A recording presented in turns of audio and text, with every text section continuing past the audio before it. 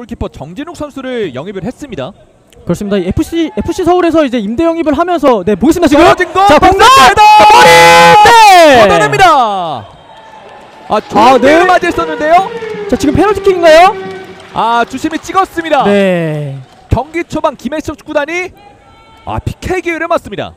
자, 양 팀이 경기 초반에 중앙을 좀 거치기보다는 한 번에 전방으로 연결하는 이런 패스들을 많이 시도했었는데 네. 지금 일단은 김해시청이 그 전방 투입 과정에서 지금 한 차례 좋은 기회를 얻었습니다. 이제 루안의 헤더였고요.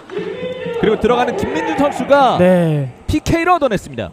자, 지금은 이 정성욱 선수와 이제 김민주 선수가 이제 충돌하는 과정에서 이제 주심은 이 정석 선수의 반칙을 또 선언을 한 모습입니다. 루안의 득점 기회 루안 PK 루안 슛 들어가 선제골 기록하는 김해청 축구단입니다. 스코어 1대0 자, 지금은 침착하게 밀어 넣으면서 이제 골키퍼가 반응도 할 수 없게 굉장히 타이밍을 뺏어가는 좋은 슈팅을 가져갔습니다. 그렇습니다.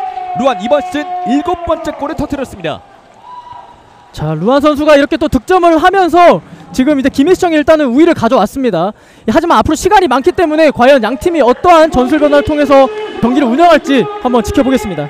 사실 오늘 경기 선제골이 어느 팀에서 나오느냐 양 팀 모두 선제골을 넣었을 때 승률이 굉장히 좋았거든요. 그렇습니다. 김혜시청의 경우에는 오늘 경기를 제외하고 앞선 6경기에서 선제골을 기록했었는데 그 경기 모두 승리를 거뒀습니다. 네. 이 반면에 또 대전한국철도 같은 경우에는 선제골을 허용한 4경기에서 2무 2패를 거두면서 승리를 거두지 못했는데요. 과연 한 팀은 오늘 경기에서 한 팀은 좋은 징크스를 이어가고 한 팀은 안 좋은 징크스를 깰 수 있을지 한번 보시면 좋을 것 같습니다. 사실 그 기록만 살펴보면 오늘 김해시청의 승리가 또 점쳐지거든요. 그렇습니다. 하지만 축구라는 것을 알수 없고 또 그렇죠. 시간이 많이 남아 있기 때문에 이 앞으로 남은 시간 동안에 어떤 선수들의 활약 기대해 보시면 좋을 것 같습니다. 차강이 앞쪽으로 길게 차줬습니다. 루안 헤더. 어, 자, second second! 중앙에서 아, 네 나왔어요. 네. 자, 서정진! 추가골 기록합니다. 김해시청 축구단 스코어 2대 0. 자 지금은 루안 선수가 마지막에 발을 대면서 루안 선수의 득점으로 보이는데 그 과정 전에 이 서정진 선수의 굉장히 좋은 움직임 그리고 칩샷으로 골키퍼까지 따돌리는 이런 슈팅을 통해서 굉장히 좋은 골 장면을 또 만들어냈습니다. 그렇습니다. 이렇게 되면 루안 오늘 경기 멀티골을 기록하면서 시즌 8호 골을 기록하게 됩니다. 자, 정말 좋은 본인의 득점 페이스를 또 이어나갈 수 있게 됐고 정말 이건 어떻게 보면 이 서정희 선수가 거의 다 만들었다라고 표현할 수가 있겠습니다. 네, 지금 여기서 배천석의 패스가 워낙 좋았어요. 네, 네. 루안 맞고 들어갔습니다. 이 골라인 넘어가기 전에 루안 선수가 터치를 하면서 득점을 했기 때문에 네, 루안 선수의 득점으로 또 인정이 될 것 같습니다. 안 좋아하신다고 하더라고요. 네. 박스 안쪽 붙여줬습니다. 자, 좋아요. second 볼. second볼 따냈습니다. 오른발 자, 정민우!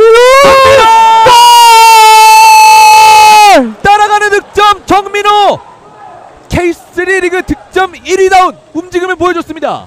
자 역시 이 second볼에 대한 집중력을 놓치지 않았고 이 장훈기 선수가 반대로 돌려주면서 정민우 선수가 결국 마무리 슈팅까지 굉장히 좋았습니다. 아 대전한국 철도 축구단이 빠른 시간 내에 많은 골을 터뜨렸습니다. 이렇게 되면 정민호 시즌 13호 골을 기록합니다. 본인 진영에서 김해시청 김민준 어 여유롭게 풀어 나오고 있습니다. 수비 헤더 세컨볼 오른쪽까지 연결이 됐습니다. 김민준 자 좋습니다. 김민준 계속해서 올라갑니다. 크로스 올려줬는데요. 자, 자, 아! 헤더 골! 추가골 기록합니다. 김해시청 축구단. 자 역시 물론 김해시청이 이렇게 몰리다가도 한 방 있는 팀입니다. 이런 한 방에 한 번의 크로스 그리고 헤딩까지 굉장히 좋았습니다. 날카로운 역습을 보여줬습니다. 김해시청 주한성의 득점이 나왔습니다. 자 정말 이 주한성 선수가 주고 들어가는 움직임이 굉장히 좋았고 또 이 측면에서 크로스가 굉장히 정확하게 올라오면서 또 헤딩까지 마무리했습니다. 이번 시즌 첫 번째 득점을 기록하는 주한성입니다. 시도해봤습니다만 막혔습니다. 이번엔 대전의 공격 이동현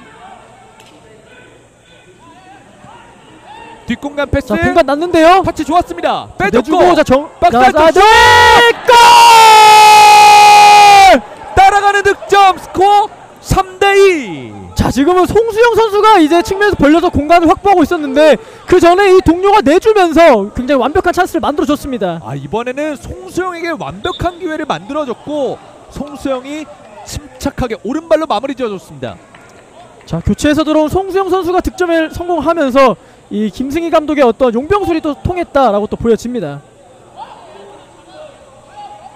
아 지금은 굉장히 잘 빼줬던 유현승이었고 송수영의 침착한 마무리가 돋보였습니다. 넘어졌는데요. 그대로 경기 진행. 자 나옵니다. 오른쪽 측면에서 짧게 내주고요. 이동현 붙여줬습니다. 아, 네, 좋아요. 네. 등지고 있습니다. second! 왼발 골! 동점골 기록합니다. 오늘 경기 멀티골 송수영. 자 측면에서 크로스가 굉장히 좋았고 또 이것을 정확하게 컨트롤한 이후에 내주고 마무리하는 것까지 굉장히 완벽했습니다. 아 동점을 결국에는 만들어내는 대전입니다. 이, 이러면서 교체 카드를 가져갑니다. 일단 이 장면 보시죠. 굉장히 잘 빼줬고 아 지금 환상적인 왼발 득점이 있었습니다.